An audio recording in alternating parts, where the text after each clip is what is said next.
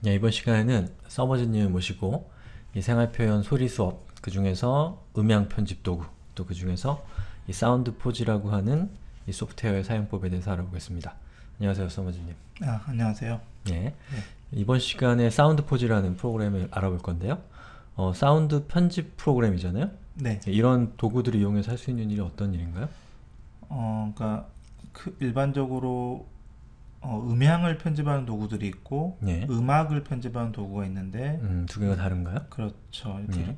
그러니까 보통 이제 음악을 편집하는 도구들은 그 안에 간단하게 음향 자체를 편집, 음향도 편집할 수 있는 기능이 들어있긴 하지만 예. 주로는 이제 그 어떤 음악적인 부분들을 뭐 편집하거나 수정하는 게 주고 예. 음향 편집 도구들이 따로 전문적으로 있는데 예. 그런 것들은 이제 디지털 이게 아무래도 디지털 환경이기 때문에 디지털 음향 파일들을 뭐 여러 가지 뭐 편집을 하거나 아니면 뭐 붙이거나 뭐 특별한 효과를 준다거나 그런 음, 그러니까 일반적인 워드 프로세스 워드 프로세서들이 어, 글을 편집한다고 하면 예. 이거는 소리로 된 그러니까 디지털로 된 소리 파일들을 음. 편집하는 거라고 생각하시면 이해가 빠를 것 같습니다. 그렇군요.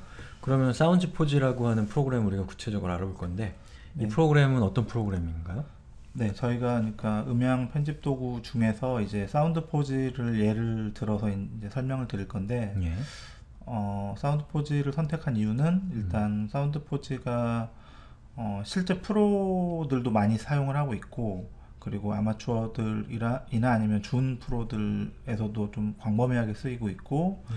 아무래도 아직까지는 윈도우 사용자들이 많기 때문에 윈도우 환경에서 가장 뭐 유명하다면 유명한 프로그램 중에 하나여서 일단 Sound Forge를 선택을 했고요. 예. 음, 제작사는 아무래도 어, 제작사는 소니에서 제작을 하고 있고 예. 소니에서 음, 그 이런 어떤 멀티미디어 저작 툴을 이렇게 시리즈로 이렇게 가지고 있는데 예. 어, 그래서 음악 편집 툴도 있고 어떤 뭐 그런 음, 그리고 또 비디오 편집 툴도 음. 있고 그런데 그 중에서도 어, 음향 편집 툴 중에서는 Sound Forge라는 툴을 가지고 있죠. 음, Sound Forge가 어, 전문적이면서 네. 또 무난하게 대중적이기도 한 네. 뭐 프로그램이라고 할 수 있나 보네요. 그렇죠. 그러니까 실제로 어, 우리나라 방송국에서도 어, 몇몇 엔지니어 분들은 사용을 하시고 예.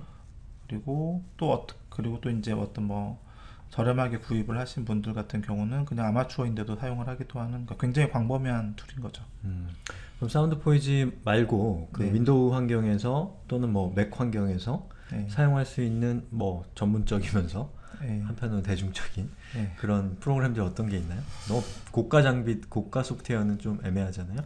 그죠. 그러니까 사실 네. 이 사운드 툴들이 그렇게 마땅한 툴이 그렇게 뭐 많지는 않은데 예. 그러니까 예를 들면 무료 툴 같은 경우는 그뭐 Audacity라고 해서 네. Audacity라고도 하고 그런 툴이 이제 무료 이- 무료이면서도 이제 굉장히 좀 그러니까 무료이기 때문에 굉장히 광범위하게 쓰이는 툴이 있고 예. 그리고 이제 그 외 맥에서는 또 이제 기본적으로 뭐 iMovie라든지 그런 일반 저작 툴, 멀티미디어 저작 툴 안에 있는 그런 기능들이 굉장히 뛰어나기도 하고 예. 또 음악 툴 안에 있는 뭐 Logic이라는 그런 음악 전문 편집 프로그램 내에 들어있는 그런 프로그램들이 또 워낙 성능이 좋아서 음. 별도의 사운드 프로그램들은 사실 좀 굉장히 niche market이라고 볼 수 있죠. 예. 네.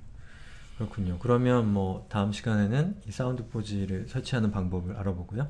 뭐 이 이후에 Sound Forge에 대해서 자세하게 알아보도록 하죠. 아, 알겠습니다.